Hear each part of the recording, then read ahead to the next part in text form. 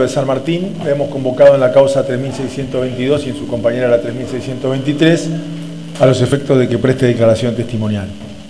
Esa situación, convertirse en testigo, le impone una obligación que es decir la verdad. Si no lo hiciere, podría incurrir en el delito de falso testimonio, cuyas penas en algunos casos llegan hasta los 10 años.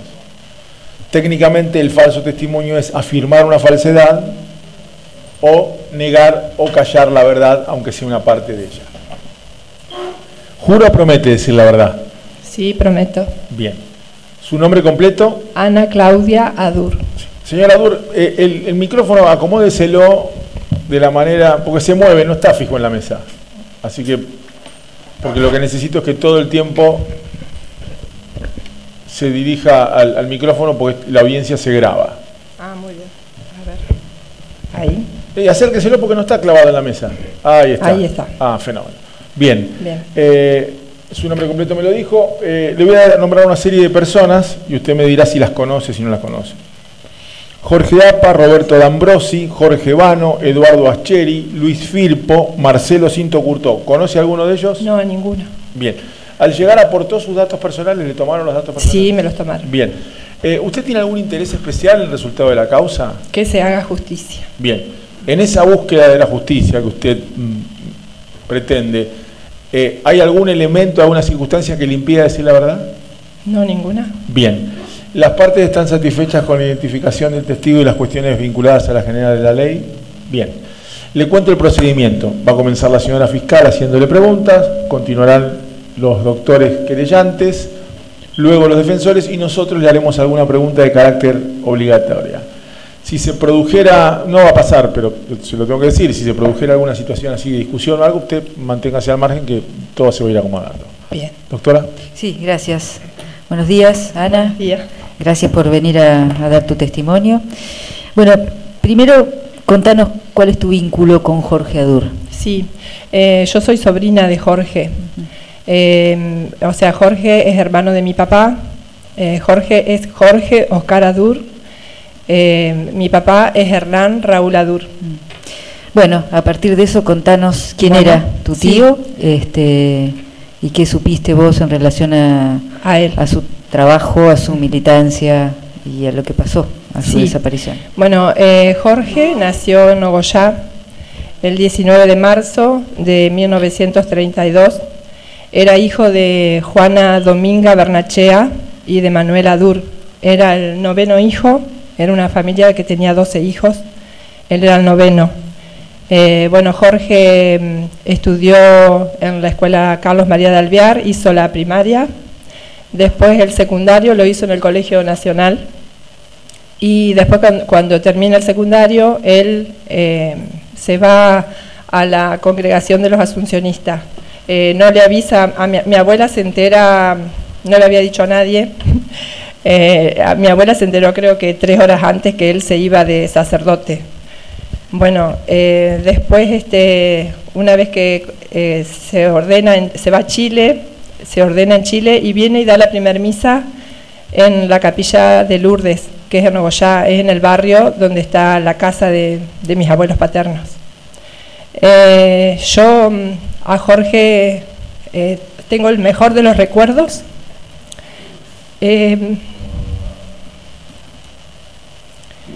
Siempre tengo esa imagen de que cuando él llegaba eh, era toda una felicidad, una gran alegría que venía él. Eh, me acuerdo ver esas mesas largas que, que estábamos todos. Eh, siempre jugaba conmigo. Me acuerdo que me decía, me parece verlo sentado en un, en un sillón de hamaca que tenía y, y me decía, Ana Claudia, habla para adentro. Siempre me hacía jugar a eso. Bueno, este, él era siempre muy bueno con todos nosotros, nos hablaba, nos, reunía. Bueno, después, eh, la última vez que yo lo veo a Jorge eh, es cuando él, yo estaba en cuarto grado, Jorge daba misas en Nogoyá. Me acuerdo que una vez estaba mi abuela enferma, estuvo muy grave, y él hizo muchas misas y, y, la, y pedía siempre por la salud de mi abuela, hasta que mi abuela se, se recuperó. Bueno, él este, eh, en cuarto grado que yo estaba, me acuerdo que nos llevan a, todo, a todas las escuelas de Nogoyá a una misa que él dio, y de ahí no lo vi más. Sé que se fue rápido, no se despidió de nadie. Eh, ¿Qué, año sería ese? ¿Cómo? ¿Qué, año? ¿De qué año estaría ese? Hoy, 75, 76, cuarto grado, 76. Este, no lo vi más y bueno, y entonces yo voy a lo de la abuela, no me acuerdo que ese día voy, me encuentro con una de mis tías, Manuela. Manuela estaba llorando en el patio, en el oscuro, cerca de una pileta de natación que había, y le pregunté qué le pasaba. Y me dijo, no, nada, nada, querida. Eh, estoy triste, me siento mal, pero nada importante. Bueno, yo después me fui, le conté a mi mamá, y entonces me dijo mi mamá, vos no preguntes, no, no, no digas nada, pero eh, seguramente Manuela está triste porque Jorge se tuvo que ir del país y me explicó que si se quedaba acá lo, buscaban para matarlo. Eso fue lo que me dijo mi mamá. Vos cuando vayas no, no digas nada, no preguntes. No se hablaba. Bueno, em,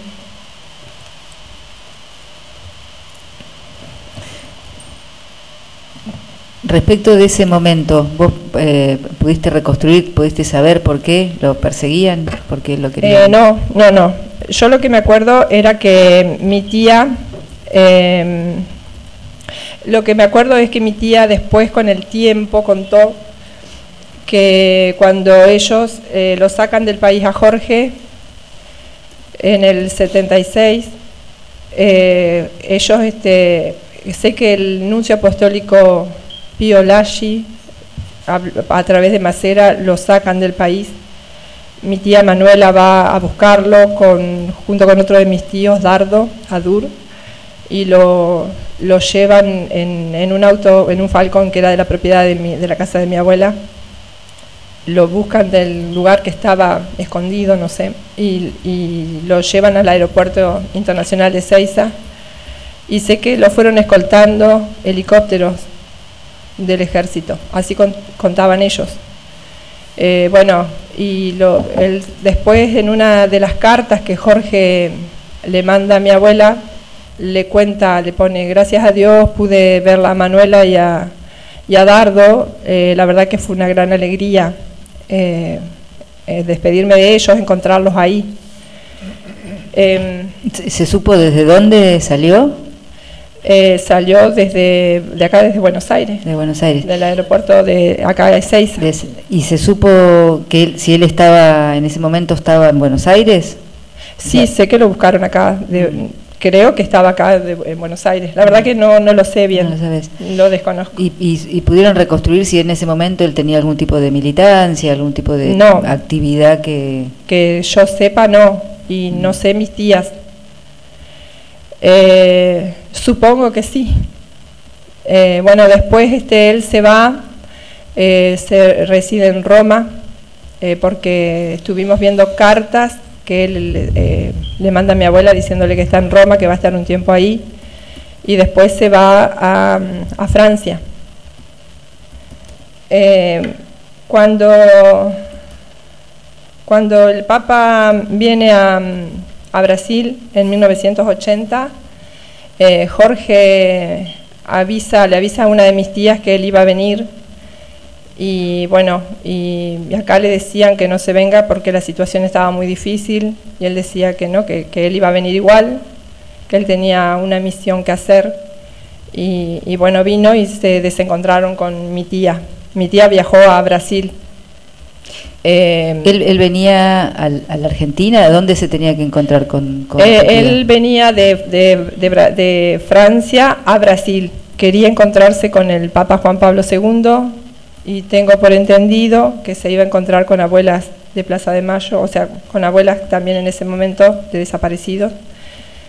Como que quería entregarle una carta a mm. él y no nunca llegó porque mi, mi tía viajó al encuentro quizás había un lugar donde encontrarse y me acuerdo que Jorge no llegó porque después mi tía decía que ella fue y que no, nunca, nunca llegó Jorge y después avisó desesperada llamando de que ella fue y que Jorge nunca bajó del avión, así dijo. Mm. Eh, ¿Y ustedes supieron a través de estas cartas? Él tenía, cuando estuvo en Europa, tenía comunicación. Sí, siempre. Llamaba para todos los cumpleaños a mi abuela. Eh, llamaba, a mí me escribió una carta en el 79. Eh, yo había tenido a mi mamá enferma en el sanatorio internada y me acuerdo que la cuidé, a pesar de mi corta edad, a mí me, gustaba hacer eso. Y, él me, me decía que estaba muy bien lo que yo hacía, eh, viajó también una, eh, mi tía Aracelia, esta que yo cuento que es la que viajó a Brasil, antes de que Jorge se vaya, antes de que Jorge viniera a Brasil, ella fue a visitarlo eh, a Francia. Me acuerdo que ellos decían que habían pasado muy lindo, que Jorge nos mandó unos regalos, que para nosotros era todo novedoso porque era desde ropa, unos autitos un auto para mi hermano que era control remoto, que en esa época no, acá no se veía. Bueno, este... Eh, ¿Supiste vos, a través de la familia, o porque lo hayas reconstruido, que mm, eh, si tu tío en Europa tenía algún tipo de actividad mm, militante, de denuncia? Eh, vos dijiste que iba a traer una carta para. Lo que yo, sí, eso si ustedes me permiten, yo tengo cartas que fui reconstruyendo, mm. los hechos, ¿no es cierto? En el exilio, por ejemplo, en una de las cartas él dice de que, llegó muy cansado y que se va a quedar en Roma por un tiempo. Eh, después este, manda una serie de cartas entre los años 79 y 80 y le dice, a, cuenta ahí que la última carta dice que va a venir a Sudamérica. Y ahí le manda una carta a mi abuela en el año 80, el 11 del 4 del 80, le dice que mm, espero mamá que hayas recibido la carta de México, que te mandé la postal desde México. Eh, después, eh, ese mismo año, él festeja el cumpleaños, el 19 de marzo era su cumple, pero lo festeja el 16 en París y le dice que, que, no viajó porque el avión partió con un día de retraso. Después habla de que cuando estaba en México se tuvo que quedar unos días más por la muerte de Monseñor Romero y que él se había perdido un viaje a Alsacia, a la tierra de la buena cerveza, pone. Eh, después el 30 de, de abril del 80, le mando una, una, carta a mi tía Aracelia, pero no le pone Aracelia, le pone Cecilia. Eh, querida Cecilia, he tenido mucha alegría de ver a tus amigas. Estoy muy bien. Acabo de llegar del sur de Francia. Cecilia, a partir del 7 o el 8 no estaré en París porque haré una gira por América Latina. Lo más seguro, vaya a encontrarme en Brasil durante la llegada del Papa. Yo no iré a todas partes, me circunscribiré a Sao Paulo y Río. Escribíme a París, yo les escribiré desde, desde donde esté. A partir de julio estaré de nuevo en París. Te mando con los amigos 800 dólares para ayudar a los problemas económicos de casa. Por favor, tú verás cómo los utilizas para remediar el desastre. Si tengo más, te lo enviaré. Te mando esa pulsera, pues no sé dónde andaré. Un beso grande para todos de tu hermano que te quiere, Bartolomé.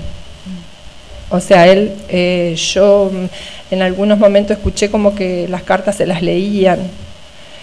Eh, y después en... Em, eh, estos, ¿Estos amigos con los que él mandaba el, dinero eran amigos de la familia o amigos de él? No tengo ni idea. Mm, nunca ni idea. No, no, no sé. Esto yo lo leí después, ni sabía mm. que él mandaba plata. En ese momento eh, yo tenía dos tías con cáncer, eh, los tratamientos eran carísimos, mm. entonces seguramente él estaba preocupado por eso.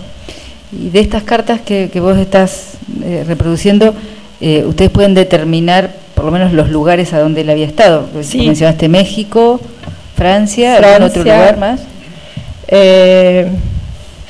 Yo después les voy a hacer escuchar un, un audio, si me lo permiten, que él nombra bien clarito todo. Mm. Eh, después él en, en mil, el 29 del 5 de, del 1980 eh, mandó esta carta que la encontré en fotocopia. Había en una caja, que yo la saqué de la casa de mi abuela, varias copias de eso, o sea, el original no está, pero es la letra de Jorge. Y dice así, querida madre, tía y todos mis hermanos, hermanas y familia, miembros de conducción nacional del movimiento peronista Montoneros, a la congregación asuncionista, al partido, al pueblo argentino que busca la liberación. Hoy parto a una misión que incluye también la entrada al país. Pienso en todos ustedes. Me parece y lo siento que vamos juntos, que avanzamos un montón. Amo la vida, ansío la victoria pero el enemigo quiere mi muerte y nuestro aniquilamiento. Si por caso creen que matándome se perdió la vida y la victoria, les digo que la certeza de un día nuevo para nuestro pueblo es parte de nuestra fe, el signo amoroso de nuestra esperanza. No les dejo otro ejemplo que la consecuencia de mi ideal, junto a los ideales de miles de argentinos montoneros. Quiero que ustedes transmitan mi voluntad irrenunciable de seguir con los postulados que expresé en mi carta abierta al pueblo argentino del 1 de julio de 1978, que dejo como único testamento. Los quiero, los sostendré en la lucha, mi oración resucitada. Firma Jorge Capellán Montoneros, capitán, liberación o dependencia, patria o muerte, venceremos. Eh, yo no, ni sabía que había una carta dirigida, una carta abierta dirigida al pueblo, no, ni sé de qué se trata. Eh, bueno, después este, él saluda a mi abuela para el cumpleaños unos días antes. Mi abuela era su cumpleaños el 12 de junio y eh, creería que es la última carta que, que, llegó, o por lo menos lo que estaba ahí en una caja. ¿Eso, eso tiene, tiene fecha? Eso que acabas sí, de 29 del 5 de, de 1980. Mm. Acá la tengo la carta, si ustedes la quieren ver.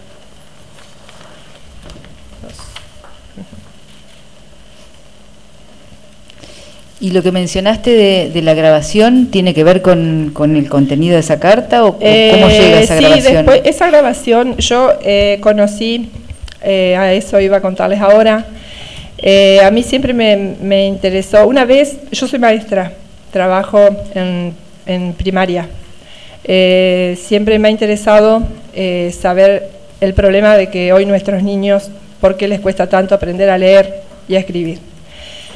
Y tuve la oportunidad, un día de la escuela me mandan a hacer una capacitación que la daba una señora que iba era de la biblioteca del Congreso de la Nación, que la lleva el Consejo de Educación a, a Nogoyá.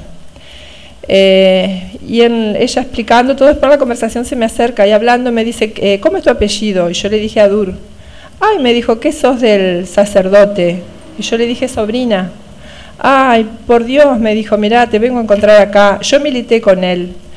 Eh, y hoy no, no, me puedo acordar ni siquiera del, nombre, no, no, sé quién era ella. Me dijo, pero no, no lo recuerdo. A mí es como que yo me, me quedé dura, no sé, no. Me dijo, vos tenés que luchar, eh, hacer algo por él. Eh, pedí que pongan el nombre de una calle, él fue muy importante. Yo era una pinche, me dijo. Eh, y, ella, perdóname, no, no recordás el nombre, pero ¿dónde fue, dónde militó con ¿Eso dónde la encontré? No, ¿dónde la encontraste? Sí, no. ¿Dónde, ¿De dónde lo conocía a, tu tío? A Jorge, me dijo que yo militaba en Argentina. En la Argentina. Sí, ah. es más, me dijo que ella había estado detenida, que em, estuvo detenida la hermana, su cuñado, y que ella a la hermana la, em, la pudo salvar y que su, eh, su represor le había creído todo lo que ella había dicho y en cambio al cuñado no, que al cuñado era desaparecido. Mm. Eso es lo que recuerdo. Yo me acuerdo que me fui a la casa de mi abuela y le, decía a mi tía, es lo que menos me esperaba, encontrarme con, esto, ¿no? Y eh, la, pregunta, o sea, compartir la militancia con él Eh, ¿En qué organización? ¿En, Montoneros? Y sí, supongo que sí. Eh, después, em, cuando muere el maestro Fuente Alba, me acuerdo en esa época, eh, a mí me conmovió muchísimo este hecho. Y yo decía qué triste, y se me remontaba a otras historias, ¿no? Un caso nuevamente de represión. Y bueno, y eso es como que me llevó a, ponerme a investigar más cosas. Eh, siempre a Jorge lo tuve muy presente. Es como que yo siempre digo que, la, que uno en la vida tiene siempre una misión que hacer, algo, por algo estamos acá, ¿no? Y mm, entonces yo eh, veía que había un chico eh, que escribía, a veces yo veía, así como que en internet, había eh, cosas que se referían a Jorge, y busqué, investigué hasta que di con Fabián Domínguez, que era un escritor del diario La Hoja en San Miguel, de acá. Y bueno, y lo, busqué hasta que lo encontré. Él vino a Nogoyá y a través de, Fabián, es como que Fabián es historiador. Em, y bueno, y él eh, fue haciendo toda una reconstrucción de Jorge. Él me decía que fue a hacer un, trabajo en, San Miguel sobre los desaparecidos y que la gente le pedía que por favor investigara sobre el turco Adur, le decían, eh, o, o, el cura Adur. Entonces ahí él empezó a buscar algo. Y, después, algo que a mí me parece importante, eh, o sea, eh, por eso me refiero a lo que usted, al audio que yo después le voy a escuchar, él me lo alcanzó, eh, Fabián me lo entregó. Y lo que sí me parece importante es que, bueno, que esto figura en, o sea, está, está la investigación que está en el Poder Judicial de la Nación acá, bueno, dice que en, el folio 1561 se menciona que desapareció el mismo día, Jorge, que desaparece Lorenzo Ismael Viñas, el 26 de junio de 1980, en la frontera entre Brasil y Argentina, quien se dirigía en un ómnibus de la empresa General Urquiza. Y en ese momento el Papa estaba en Porto Alegre y las madres de Plaza de Mayo iban a reunirse con él. Eh, y él viajaba con el nombre de Pedro Ramón Altamirano. Y luego, em, después, este, Brasil reconoce haberlo secuestrado y haberlo mandado a Argentina, haberlo entregado, porque en su momento eh, Brasil este, pagó, eh, ay, bueno, no, no sé cómo se dice, les entregó un dinero por esa causa. ¿A, quién, perdón? Los indemnizó a la familia. Ah, a mi tía, o sea, mi tía Aracelia mm. eh, tenía dos años más que el tío Jorge y es ella, la, o sea, fue la que, se ve que Aracelia después sabía que de lo que le pasaba a Jorge, porque es la que fue a, Francia a visitarlo, mm. eh, es la que fue a, Brasil a encontrarse con él, eh, y ella es la que busca, empieza a, hacer, a buscar, a, buscarlo. Mm. ¿Vos si, supiste si ella eh, habló con alguna, algún compañero de la organización eh, que, lo haya visto en, o haya estado con él en, Europa? No, ni idea. No, no. Lo que yo sí recuerdo es que un día ella estábamos a la siesta mirando una revista y decía que, mira, había un, o sea, no recuerdo bien el titular, pero ella dijo, eh, mira, estos que están acá eh, fueron y me allanaron el departamento cuando lo buscaban a Jorge. ¿Y qué te hicieron? Le dije yo. No, no, eh, dieron vuelta a todo, lo buscaban a Jorge, a mí no. no me trataron muy, muy bien, me decía, pero bueno. Y yo decía, ay, mira, este, para mí era como una novedad. No, me decía, pero es algo feo que, me, que pasó, me decía. No, entiendo muy bien. ¿Dónde ve eso? Eh, ella en una revista, en una revista Gente, me parece, que había salido un artículo de unos represores. y ella los reconoce a través de la revista. Y nos dijo, ¿cómo? ¿De cuándo era la revista? pero bueno. Eh, tiene que haber sido ya después, después cuando ya volvió la democracia. Mm. Em, y discúlpame que me detenga en esto. O sea, ella dijo o sea, entraron a su casa dónde? ah, acá en Buenos Aires, porque ah. ella tenía un departamento y vivía acá en Buenos Aires. Ah, bien. Sí. ¿Y supiste quiénes eran estas personas a las que reconoció? Eh, sí, estaba el nombre de ellos en, la revista, todo, pero yo no, la verdad mm. que no me acuerdo. Mm. es eh, una pena no acordarme. No. Y discúlpame que eh, entonces ella eh, vivió en Buenos Aires en qué, en qué periodo? Ella se vino desde jovencita, mm. se vino a estudiar y después trabajó muchos años acá en, en una casa de alfombra, dándolo y primi. sé que estuvo ahí muchos años y después se fue, pero cuando ya se enfermó, ya era una señora mayor, cuando se enfermó le dio cáncer en la médula y murió en ya. ¿Y te contó si ella lo, lo, veía a, tu tío antes de que se fuera? sí, lo, veía siempre, mm. siempre, siempre. Se visitaban con Jorge, Jorge sé que estaba acá, eh, que estuvo mucho tiempo en la, en, la comunidad, en la comunidad de Manuelita, en este yo estuve ahí hace unos años atrás, en el año 2014, me invitaron eh, hicieron una, un homenaje a todos los desaparecidos y me acuerdo que, que vine y conocí el lugar ahí, la casa donde vivía el tío Jorge con dos seminaristas, que sé que, que a los dos seminaristas se lo llevaron, a Carlos Di, Prietro, creo que el apellido, y Raúl Rodríguez, me parece que es el apellido. ¿De dónde era este lugar? Eh, acá la Manuelita, eh, el barrio eh, San Miguel. Y bueno, y después me, se hizo todo un homenaje a todos los desaparecidos de ahí, después la gente me llevó a la, a la capilla donde estaba Jorge y me contaban que cuando estaba Jorge ese lugar era de mucha unión, pero que después cuando se lo llevan a los chicos y Jorge se va del país, que esa iglesia se llamaba mm, Jesús Obrero y que le cambian el nombre eh, que en ese momento ingresa em, hoy el actual Papa, eh, Bergoglio, y que le cambia el nombre a la, a la iglesia y le pone San Francisco Javier, y que de ahí la gente me decía que empezó a retirarse, que como que hubo mucha desunión. Eso es lo que recuerdo, o sea, de, las, de lo que yo fui tratando de construir. Y esto es parte, porque dijiste que eso es en San Miguel, ¿es parte de la reconstrucción que hace Fabián, el historiador? Sí, Sí, sí, también.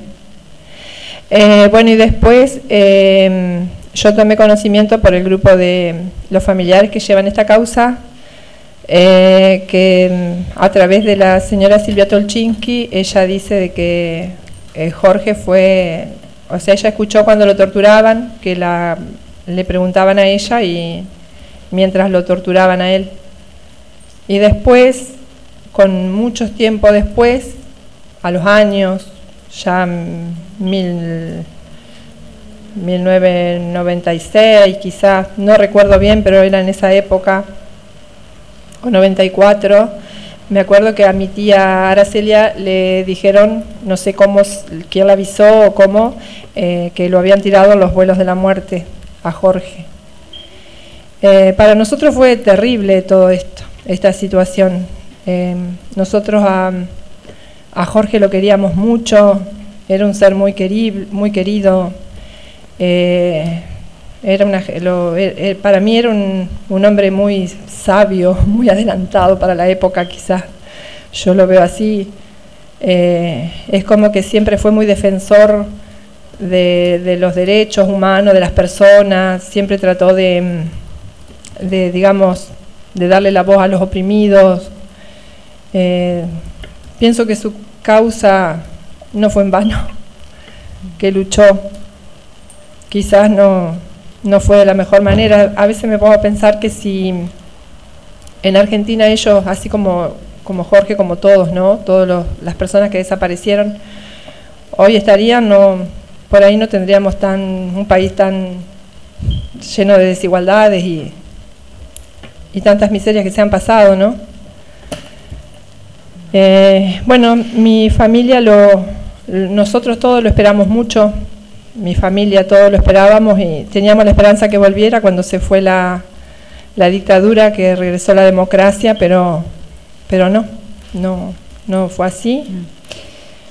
¿Ustedes cómo, cómo se enteran de, la, o sea, ustedes tienen la noticia de que él va a venir a, Brasil? Sí, sabíamos porque él le había avisado a mis tías, a Aracelia y a mis tías que venía.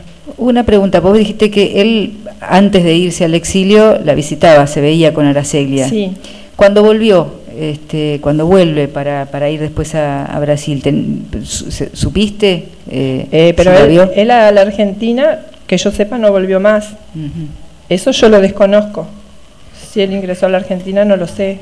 Yo sabía que de Francia él se iba a, mm, a Brasil y la misión de él era entregarle una carta al Papa, creería que con un listado de todos los desaparecidos y de con todas las cosas y diciendo todas las cosas que estaban pasando acá. Mm. Y en esta reconstrucción que, que ustedes hicieron a partir de, de, bueno, de la reconstrucción de los otros familiares, eh, vos lo vinculaste a- al- al secuestro de Viñas. Sí, ¿Pudiste, es, pudiste saber eh, cómo, cómo fue o en qué momento fue el, el- el secuestro? O... no, eso no lo sé. Bien. Eh, con respecto al tiempo anterior, él eh, eh, pertenecía a la congregación de los asuncionistas. Sí. Los dos sacerdotes que vos mencionaste, ¿eran de esa congregación, esos sacerdotes que fueron secuestrados cuando él estaba en el barrio La Manuelita? Eh, ¿Eran seminaristas esos chicos? Yo supongo que sí, no sé. Yo eh, me entero después de esos chicos. Es más, cuando yo era chica, Jorge venía y daba misa. Y mm, cuando yo siempre me encantaba ir y tener la patena. Yo le decía, tío, yo te ayudo cuando des la comunión. Y él me dejaba. Eh, y un día me acuerdo que fui y me dijo, hoy, Ana Claudia, vos no vas, no vas a tener la patena porque vinieron unos chicos que están conmigo y me van a ayudar a, celebrar la misa. Bueno, y así yo tengo como una imagen vaga de ellos. Me quedó así como una imagen porque los vi grandes, vestidos de monaguillos, y eran dos. Eh, y después cuando yo vine al barrio ahí de la Manuelita, eh, ahí me dieron, me regalaron una foto de los chicos. Y yo supongo que eran ellos, no sé. Me da a pensar que sí. Y vos dijiste, la, la salida de, de tu tío a- al, al, exter- al- al exterior tuvo que ver con la, con la desaparición, con el secuestro de estos de, estas, De esos dos estos chicos, yo supongo que sí, porque después, por ejemplo, ese día que yo estuve ahí, se acercó un matrimonio y me decían, vos sabés que cuando vinieron, eh, eh, hicieron, eh, estaba lleno de autos y todos armados en, la- en la- eh, toda la vuelta de la manzana y se lo llevaron a los chicos y por, por suerte Jorge no, no, está, no, no vino, está, porque seguramente lo buscaban a él. Eh, y nosotros nos salvamos de casualidad, me dijo porque estábamos para venir. Pero mm, eh, no me acuerdo los nombres de ellos. No, Era no, un matrimonio mayor. Era solamente saber si... Sí, sí. si eso- Vos mencionaste a, a Bergoglio, ¿él tenía algún vínculo por la congre- congregación? Porque dijiste que hubo un cambio de, de nombre. Sí, eso me lo contó la gente de ahí, de- del lugar. Y estas personas, además de, de hablar del secuestro de estos dos seminaristas, eh, ¿hicieron alguna mención si en el barrio había algún tipo de persecución? de- ¿Cómo, cómo? Perdón. Si estas personas del barrio La Manuelita, Sí. con las que vos ha- hablaste con alguna de ellas y que te contaron lo de los dos seminaristas, Sí. bien, ¿te hicieron alguna referencia en relación a si en el barrio había algún tipo de persecución por parte de... No, ellos ese día estaban recordando a como que había más, más gente desaparecida y nada más. ¿Fue desaparecida en, en la misma época? En que la fueron misma época, sí. sí. Bien. Vos mencionaste que le decían el turco. Eh, es- ¿Ese sobrenombre vos ustedes lo conocían o Eh, sí, a nosotros a veces, a mí también a veces me dicen turca. eh, recordás o supiste qué edad tenía en ese momento cuando lo cuando los cuando desaparece, cuando lo secuestran? y yo calculo que habrá tenido unos 40 años. Eh, bueno, no, no, no me acuerdo. Más o menos. Eh, y vos mencionaste este historiador que me olvidé el apellido, Fabián, Fabián Domínguez. Domínguez, eh, y que te dio el, el, el cassette. El ah, Eh, sí, el CD. te- ahora te voy a preguntar, pero eh, ¿cómo, cómo llega? No, no me quedó claro cómo le llega a ¿Cómo él. le llega a él? Ajá. Yo, si ustedes me permiten, me fijo, porque yo ayer le preguntaba a Fabián, ¿cómo, eh, quién te entregó ese CD? Mm. ¿De dónde lo sacaste? Entonces él me... Perdón, me ¿es, el, ¿el formato era un CD o era un cassette? Eh, él eh, me entregó a mí un CD, Ah. que lo tengo acá. Y yo lo hice, como es muy largo y tiene música, eh, es este. Lo hice pasar a un pendrive y lo tengo grabado para más facilidad de escucharlo en el teléfono. Si ustedes me, me permiten, lo, Sí, yo se lo- Sí, sí. lo podemos escuchar.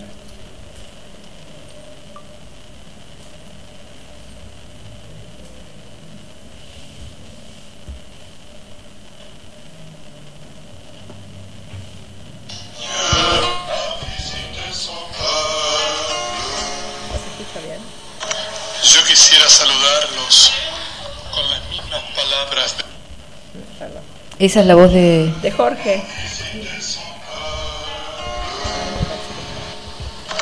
Yo quisiera saludarlos con las mismas palabras de San Juan en el principio del Apocalipsis.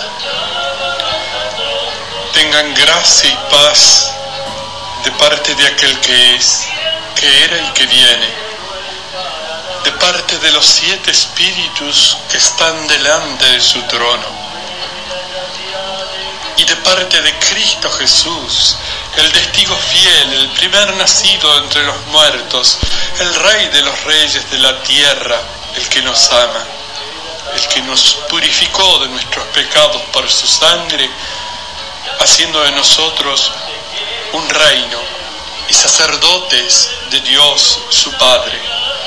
A Él la gloria y el poder por los siglos de los siglos. Amén. Bueno, ese fue San Juan.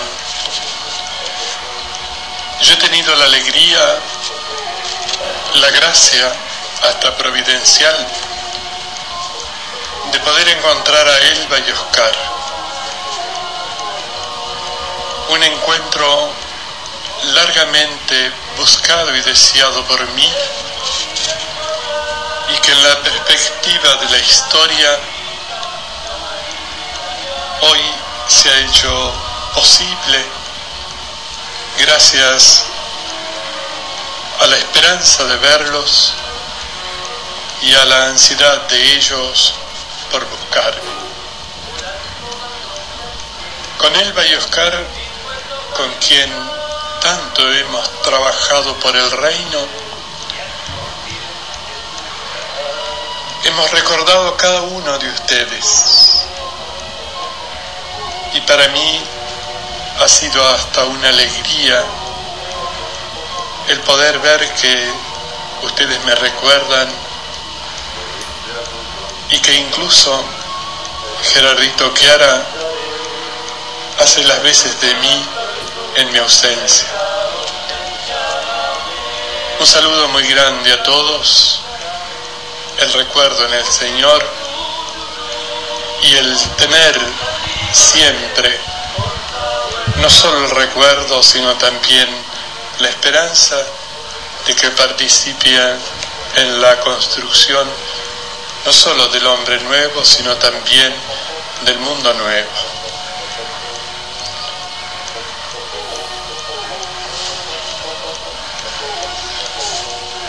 Yo quisiera en esto contarles a ustedes algo de mi vida. Nunca se puede contar todo. Pero quizás lo que les puedo decir es que cada uno de los días de mi vida son una lucha intensa. Vivo mucho. Pero hoy, sin embargo, yo quisiera narrarles unos siete hechos que han marcado un poco mi vida en estos años en que no nos hemos visto. En primer lugar, la desaparición de Carlos, de Raúl, de Cristina, puntos suspensivos. La muerte de Juan, de Alejandro, de Pablo, de tantos otros. Para mí, esto, aunque parezca un poco frío, tibio, es quizás uno de los hechos que muestra más cómo han creído hacer desaparecer o matar una esperanza.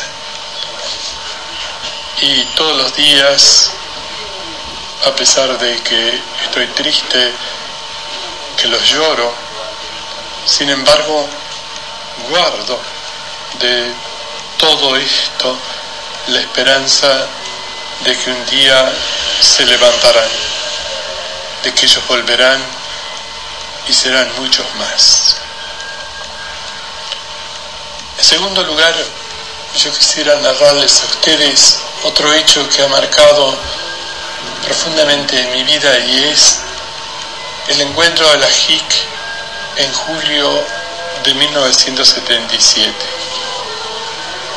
donde pude ver que en todas partes del mundo los jóvenes tejen una misma esperanza, que los procesos son lentos, pero que necesariamente son irreversibles, y que los jóvenes están decididos a encontrar desde la dinámica de su fe una concreción de lo que aspiran, una práctica consecuente de todo aquello que ansían, de todo aquello que anhelan.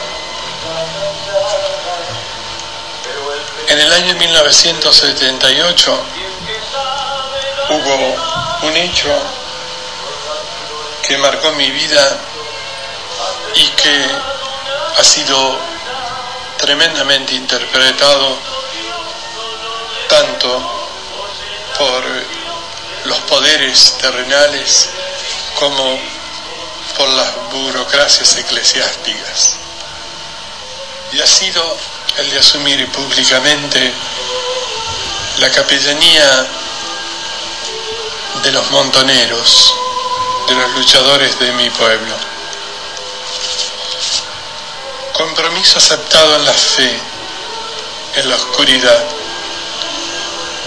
Un compromiso que quiere significar de que yo, como iglesia y como sacerdote, no podía dejar de estar del otro lado porque los jerarcas de la iglesia habían asumido una complicidad histórica imperdonable.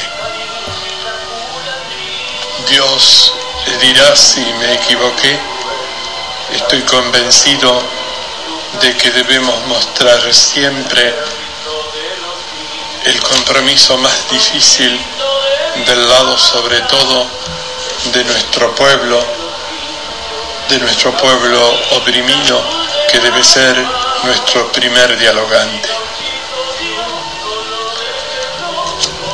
El año 79 estuvo marcado por cosas que yo considero trascendentes tanto la vida del mundo, la vida de mi pueblo, como en mi misma vida, que cuenta menos por otra parte.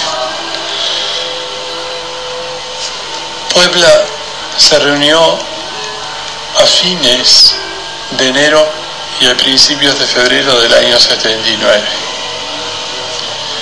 Todo estaba previsto como para no dejar voz a los sin voz todo estaba previsto como para que fuera un acontecimiento interno, eclesiástico y jerárquico. Pero yo creo que si hubo muchos obispos en Puebla que se reunieron en este sínodo regional de la Iglesia Latinoamericana, hubo tantos o más que estuvieron allí en Puebla y que hicieron de Puebla una tribuna internacional para gritar lo que habría que gritar, para seguir sosteniendo la larga lucha de los pueblos y para reafirmar sobre todas las cosas que es necesario que el amor se concretice entre nosotros. A Puebla lo viví con el recuerdo de los hombres y mujeres de mi país, de mi pueblo, pero lo viví también con el pensamiento de las dos últimas comunidades en donde estuve, es decir, ustedes y la Manuelita. En mayo tuve la suerte de poder ir a Siria y al Líbano, cuna de mis antepasados. Si bien es cierto que mi misión era diplomática, pude, pude ver a la gente y comprender muchas cosas de mi padre que ignoraba. Ha sido verdaderamente encontrarse con aquellos que sin conocernos estábamos unidos con un lazo de amor que no respeta fronteras, de que se extiende más allá de los océanos. Vi también desde el punto de político un eh, Medio Oriente eh, convulsionado por guerras de que evidentemente no están suscitadas por dificultades internas, sino por los grandes intereses del imperialismo de las potencias mundiales. Un pueblo que sostiene todos los días su idiosincrasia, un pueblo de que le cuesta mucho mantener una lucha, un pueblo que está sellado por la sangre de sus hijos. En julio del año 79 tuve la alegría de que Nicaragua fuera totalmente liberada y que el Frente Sandinista de Liberación Nacional mostrase que es posible llegar a la práctica de un proyecto de sociedad, de una lucha, por más que los años pasen y haya muchos muertos que se han ofrecido, que se han ofrecido precisamente por la liberación de nuestros pueblos, de nuestras patrias, en este caso Nicaragua. En el año 80, evidentemente que estando en México tuve la gran tristeza de saber que el 24 de marzo de 1980 habían matado a Monseñor Romero. Este Monseñor Romero que había dicho que es mejor quitarse los anillos a tiempo ante que les corten las manos. Este Monseñor Romero que había dicho que la iglesia se siente orgullosa de haber mezclado su sangre con el pueblo. La iglesia como tal no tiene problemas con el gobierno, el pueblo es el que los tiene y por esa razón la iglesia tiene problemas con el gobierno. Ese Monseñor Romero que había tan claramente denunciado la confabulación de los poderes contra el amor, contra la liberación de su pueblo, es el que ha sido matado. Su vida es un símbolo. Ahora comenzamos una nueva etapa de la iglesia. Si bien es cierto de que el episcopado nicaragüense aprobó un proyecto de sociedad y saludó la aurora de una nueva etapa en América Latina, en donde no es ya una isla, sino que es alguien pegado al continente que alcanza su liberación, este hecho de Monseñor Romero, de este obispo mártir, en donde se cumplen todas las condiciones para que la iglesia pueda beatificarlo, pueda santificarlo como mártir, expresarlo como mártir a los pueblos, significa la apertura de una nueva etapa de la iglesia latinoamericana, porque ya no son hombres, mujeres, obreros, marginados, los que postulan un cambio de sociedad, sino que es un obispo el que ha dado su propia vida para que América Latina encuentre realmente la paz en la justicia, que es el secreto de toda liberación legítima. Y bueno, yo les he marcado a ustedes siete hechos, pero yo creo de que es mucho más todo lo que nosotros hemos vivido. Estos hitos no son sino nuevos hitos de nuevas etapas que es necesario ir encontrando el lugar no solo en el mundo que nos domine, sino que es necesario de que nosotros la vayamos rumiando desde el interior de nuestras conciencias. Esa es la vida pública, política, diplomática. Yo llevo la vida de todos los días. Más que nunca estoy enamorado de mi vida religiosa, de mi consagración en la iglesia para hacer imitación de Cristo entre los hombres, sacramento prolongado a lo largo de los tiempos para mostrar lo que es la alegría de vivir consagrado a Dios. Yo estoy contentísimo de mi sacerdocio.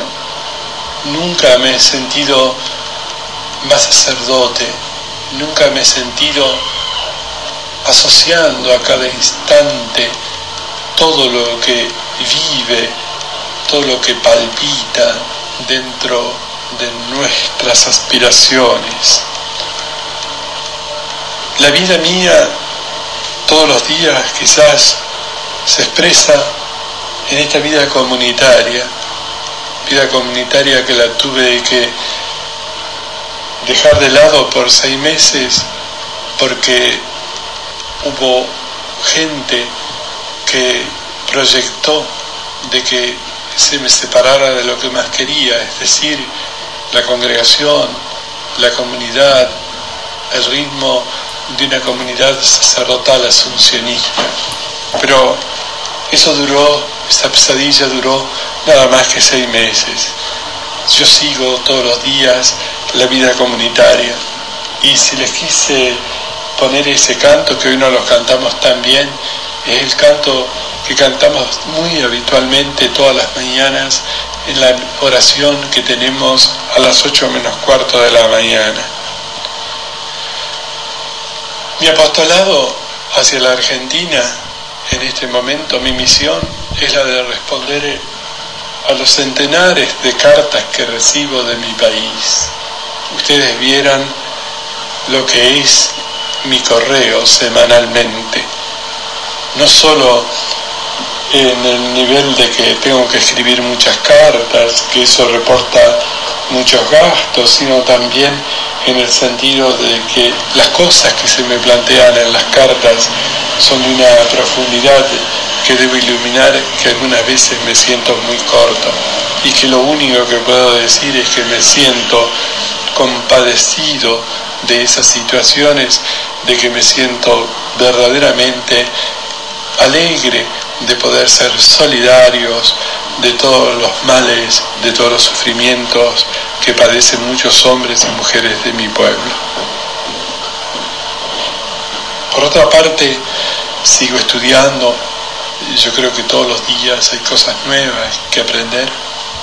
Algunas veces son estudios dirigidos, otras veces son búsquedas personales.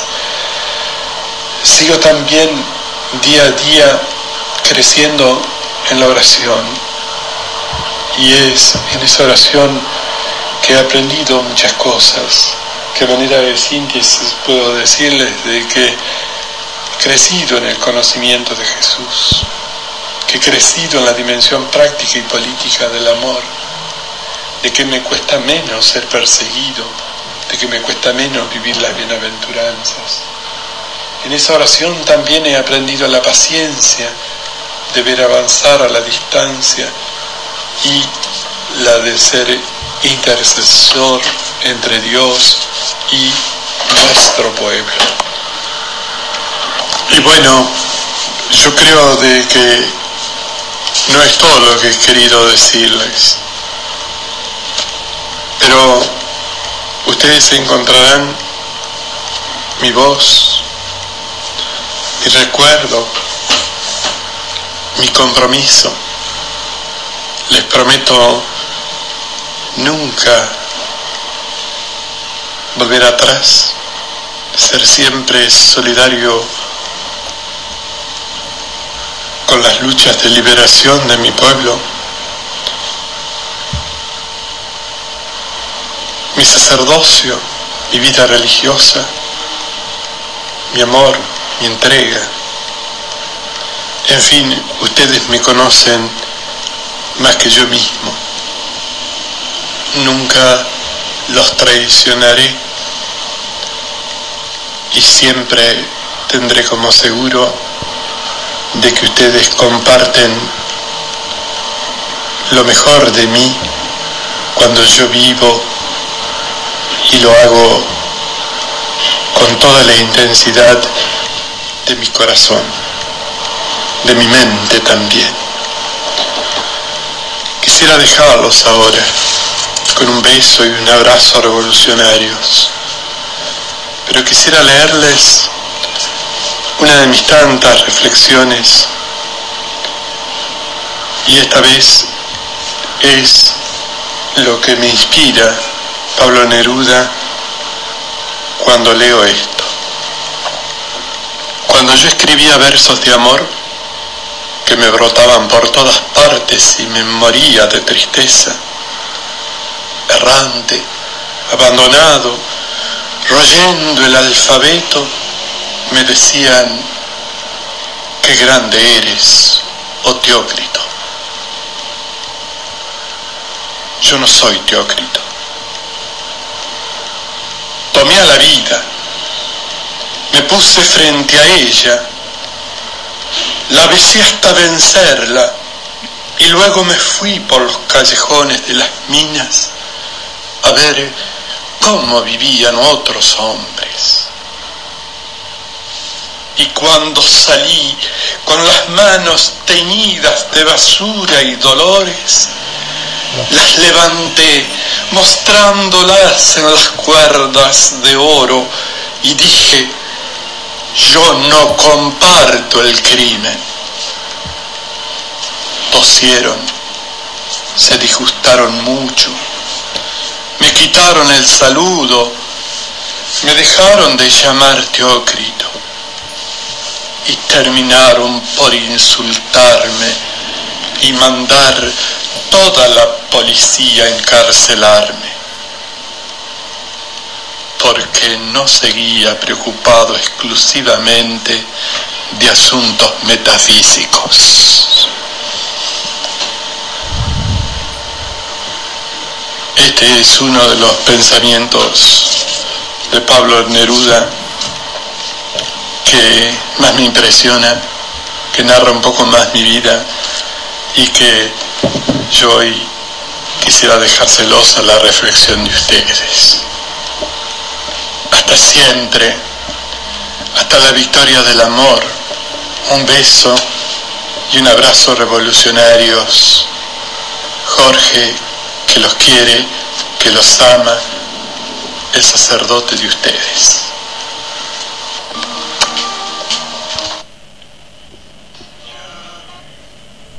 Eh,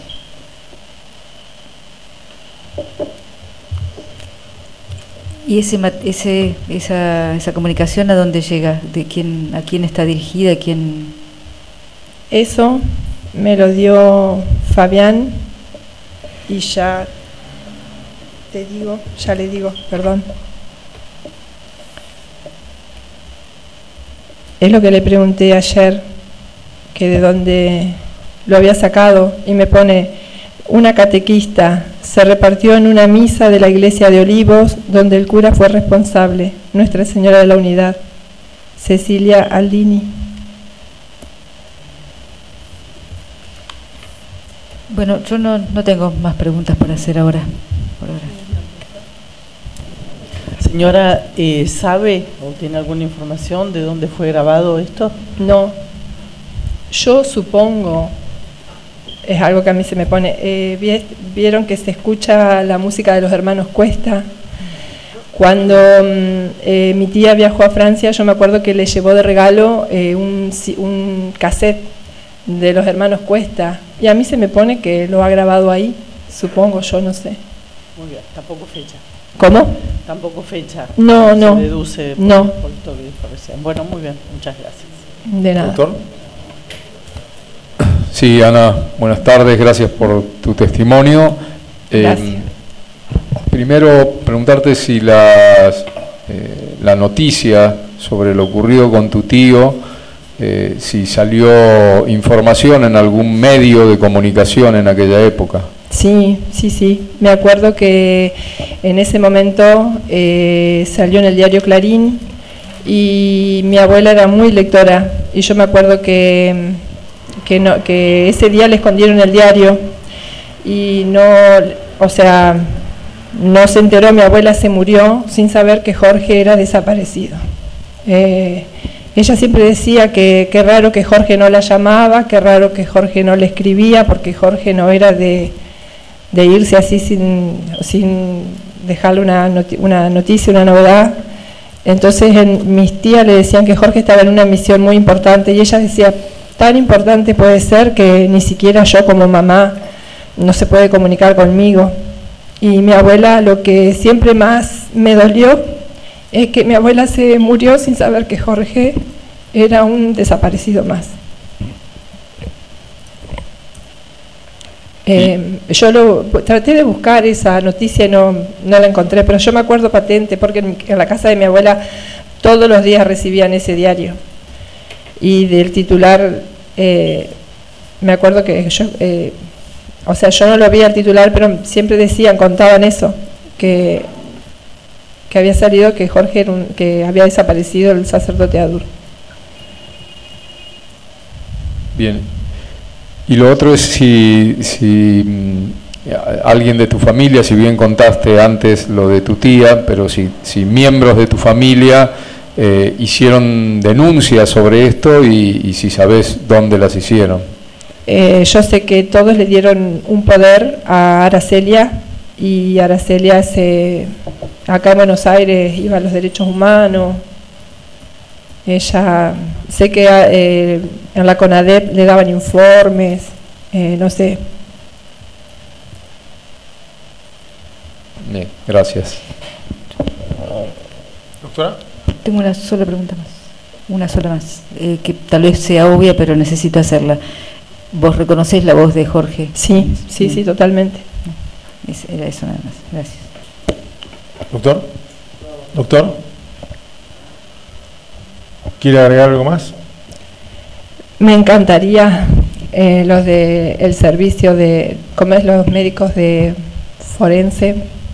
Los médicos forenses fueron una vez a Nogoyá y le sacaron muestras de sangre, el equipo forense, perdón, le sacaron muestras de sangre a mi papá, a mis tíos. Y me encantaría si algún día se puede lograr encontrar algún huesito de Jorge me encantaría poder darle una sepultura como corresponde. Nada más, les agradezco mucho y gracias por la oportunidad y decirles que a esto lo veía como algo tan lejano, pero estoy contenta de saber que aún se puede hacer justicia. Muchas gracias. Su testimonio ha finalizado. Gracias. Buenas tardes.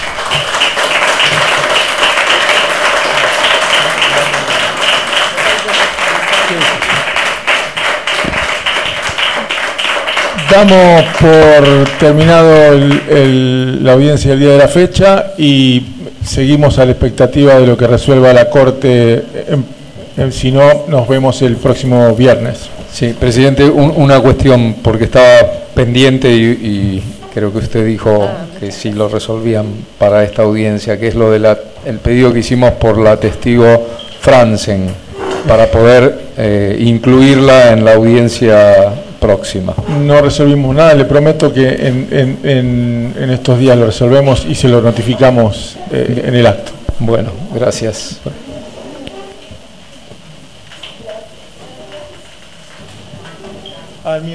Jorge lo saca. Jorge tiene las llaves.